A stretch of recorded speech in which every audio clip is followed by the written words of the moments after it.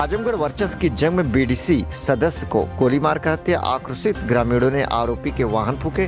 मुआवजे की मांग को लेकर सौ को रख कर किया चक्का जाम। मोहम्मद राजिक की रिपोर्ट।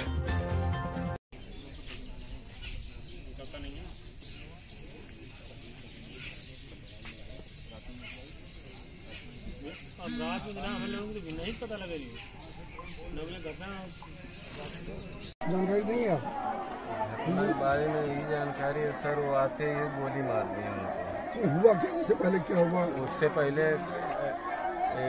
कोई पुरानी रंजिश? पुरानी रंजिश कोई नहीं थी। कहाँ पर थे ये लोग? उस बाज़ार में ही? बाज़ार में बीडीसी साहब क्या करने गए थे? तेरह ही खा के आ रहे थे। सब तेरे खा के आ रहे हाँ वो सब सारा कौन? शराब भाव सराय भाव वहाँ पे उनका उनको पीछा किए तो वहाँ पे नहीं पाए तो फिर चौक पे आए। चौक पे आते ही डायरेक्ट गोली मार हम लोगों को पहुँचते पहुँचते। गोली कौन मारा है? अमरजीत सिंह है राहुल सिंह गोल्डी यादव और सोलू। सोलू सिंह गोलू सिंह अमरजीत सिंह। कई लोग थे। हाँ कई लोग थे। ये शराब भाव नहीं पाया तो के चौराहे यहाँ पे फिर आके मनोज सिंह भी थे। मनोज सिंह। तो झगड़े में क्या कारण क्या था? झगड़े का कारण यही है प्रधानी है।